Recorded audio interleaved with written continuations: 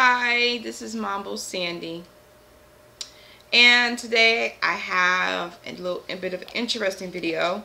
Um, it's about energy and beauty. Beauty and energy. Okay, and how to protect yourself um, from negative energy from others and going to the hair salon, barbershop, nail salon. Okay, so let's roll into it. Um, we all like to sometimes go to the hair salon. Long time ago, um, as my grandmother would say, we go to the beauty parlor. They always had one, as she called it, beautician. Now we say hairstylist that they stuck with. They stuck with that person for a while. Now I'm starting to understand why. Okay, not just because of the hairstyle that they did, but because you kind of understood the person, you started to get to know the person, and that was a very important thing, okay? Um, now, you're probably saying, Mambo Sandy, what does that have to, what? I don't get you. Okay, so we all know that energy can transfer itself, okay? Positive or negative. So, when you go to a hair salon and you're going to get your hair done, you have to be aware that when you're changing from stylist to stylist to stylist to stylist, some people do this because of time. You know, guys, sometimes you might keep one barber, sometimes you don't. Sometimes you're like, whoever's open, whoever's good, let's roll. All right. So, do you know the mood that that person is in? Not really. And nowadays, you know, people are taught be professional if it's you know if you had someone die in your family or whatever's going on you're supposed to wear a fake smile and give good customer service so what happens is you have a bunch of people at work that could have tragic things that have happened to them but they have to be to work and they can't take off or whatever the case may be so what happens is basically the person can end up transferring negative energy here to your crown chakra. Okay? That is a serious thing. Those that believe in that know about chakras, they understand me. My African traditions, you definitely understand me as well. The top of your head is an important thing. Not just with just not just, you know, when you're getting like someone doing something spiritual to you, but even mundane things can also leave an energy pattern, okay? So, one way negative energy can be transferred over to you, believe it or not, It's by hairbrush. And like mom was saying, you are crazy. Nope, no I'm not. Okay, we all know that when you clean out your own hairbrush, okay, there's still usually little traces of hairs left in there. All right. Imagine what happens when you go to a hair salon. Nine times out of ten, I'm quite sure the hairstylist, she changes her brush. I mean, she washes the brush.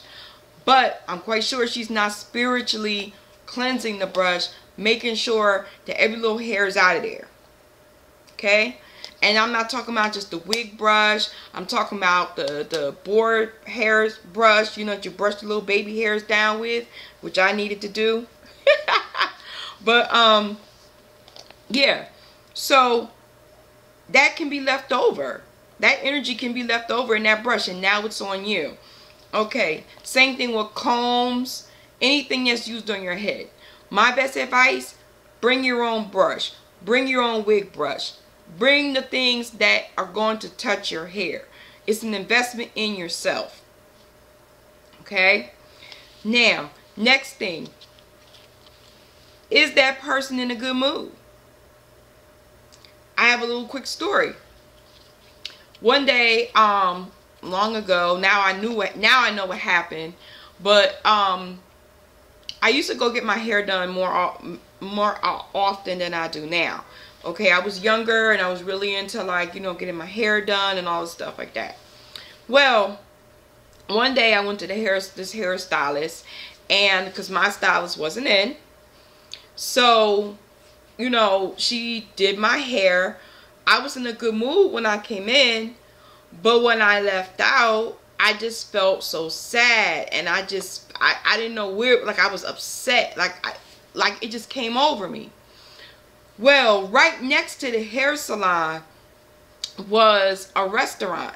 Okay, it was like a little Jamaican spot, and um, hairstylist that was on her way in take care of client who knew I was, you know, knew I was came in the shop said, did you, did you hear what happened? And I'm like, no, what happened? She was like, you know, so-and-so lost her mom this morning. I'm like, okay. All right. So she found that out while she was at work you know and i guess you know she wanted to finish her day or whatever the case may be but the point is she was sad and me being empathic i picked up i picked up on it and i didn't even know at that time i didn't even you know like it was like later on in life i started putting two and two together and then i understood why i had that bad day you know for the rest of the day and why i felt so sad you know but at that time I didn't, but it was something that I always remembered, okay? So when I started putting two and two together. Okay, the next thing is, when you go to nail salons, oh, so a way, let me back up, let me backtrack. So a way to protect yourself from that is you can protect yourself before you go, okay? Maybe you could wear a protective amulet or you can do some hand passes or something of that nature. Afterwards, you know, you can um, also do some hand passes, you know. Um, smudge yourself. Bring some Florida with you, you know, whatever it is. And you don't want to mess up your do whatever, but you can just go over yourself, okay? You know, these are ways that you can protect yourself and to keep that negative energy from transferring itself and attaching itself to you, right? Next. Nail file. You're like, Mambo Sandy, why? I bring my own nail file with me to work. I mean to work. well, actually, I say to work, but I did used to work in a nail salon. I bring my own nail file to the nail salon because you have to think about this. Nail salons should change that nail file with every client, but they don't because most people don't say anything. Okay? You have to think about it too. People that sat down there, you don't know what they got.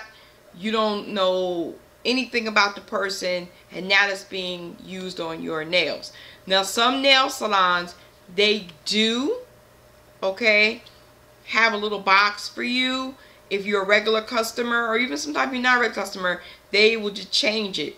But those that, but just to be on the safe side, you know if you're getting acrylics done to bring a thicker file, the smoothing file, you know the routine ladies. It's just best you bring your own. Guys, if you get, you know, a manicure, bring your own tools too. Afterwards, you know, same thing. You can bring yourself a little Florida water do what you got to do cleanse yourself off because energy can transfer itself it can just transfer itself that's just how it is okay now moving along we all sometimes ladies we like to go to the hair braiding shop okay and we get the hair they braid our hair be it human hair, be it synthetic hair. No, not even synthetic. I'm lying about synthetic. Okay? Human hair.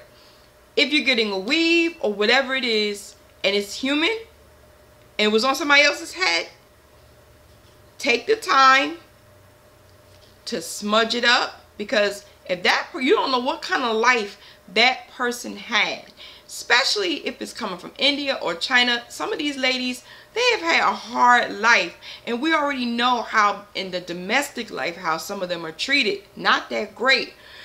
Now you're going to attach that to your head. The thing you should do if you can and you're skillful, you can wash it. you know, take a little salt water, maybe spray it down. Doesn't have to soak it, but you can spray it down. If you don't want to do that, you can smudge it. Ask for negative energy to be released from the hair, okay? But you need to do something to, you know, release any negative energy that could be there because that's going to be attached to you for a while and then it becomes yours if you want to say. Okay then your DNA is on there all right? So you want to do something to alleviate that. Guys when you go to the barbershop okay you also have to be careful. Bring your own hairbrush why? Same thing. You know, I see the barbers, they making sure that, you know, your fade is tight and it's nice and smooth and all that. And how many people has he used that brush on? Bring your own brush. Bring your own brush. You know, you can leave it in your car, wrap it up, have it in a bag, or, you know, your little stuff, and go in there and do what you do. Still can get your hair cut, but now you don't have to worry about other people's hair follicles and DNA and you know energy being left on you okay and still guys you know at one time bay rum and Florida water actually were a staple in some barbershops. I know bay rum used to be because the barbers used to use that all the time. And bay rum can get rid of negative energy as well. Okay, definitely Florida water. Okay, after you get your little cut, you don't have to put it directly on your head okay? Or you know you can just do your little hand passes and get that negative energy off of you because you don't know what kind of mood your barber was in. You don't know. People have to put on acts nowadays because they got to do what they got to do to make a living okay? So you can do it when you get in your car when you get outside. Do what you do. All right. So um my next topic is when you go and get a pedicure, ladies. I'm going to tell you, you should carry some tea tree oil with you. Tea tree oil or peppermint oil. Tea tree oil definitely can remove any type of germs that could be lingering about in that foot basin. Okay? Tea tree oil, you can use a little bit of it after, you know, like once they, they do your nails just before or after they get ready to, um, put the polish on or however they do it, you know, cuticle. Put that tea tree oil on there. Have them, you can either just have them put a couple drops in the basin. Okay, your foot feet are going to be in. This is a good practice. Okay, because you don't need any issues. Alright? You just don't. You don't know how much things people sometimes can catch from a foot basin all right? So you want to be aware of that. And that tea tree oil can help. I never forget um one day um i um was in the nail salon and i was getting my a pedicure done. And the lady accidentally pinched the ladies you know because some of them be working so fast okay trying to get you in and out of there. She ended up drawing blood from the woman. And you know, they really didn't have, they supposed to, but they really didn't have what she needed there. So, you know, I told the lady, give me a cotton ball. I gave her the cotton ball. She put some, it did sting, you know, but it was able, you can look this up, tea tree oil can stop MRSA, okay? It can, yeah, it's one of the natural things that can actually help to prevent MRSA.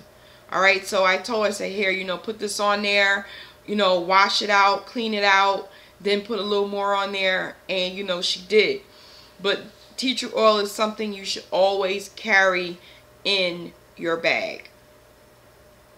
Alright. Well, this is Mambo Sandy. And I hope this video was informative. You know, I just don't want, you know, people walking around out there getting sick. People getting, you know, having spiritual issues. One minute you're having a good day and next minute you're not or having a bad week or a month because you done picked up some negative energy. Okay, that you didn't have to. So remember, invest in yourself. I always say, invest in yourself. Bring your own, you know, beauty tools with you and take care of yourselves. All right, this is Mambo Sandy. Have a great day. Bye-bye.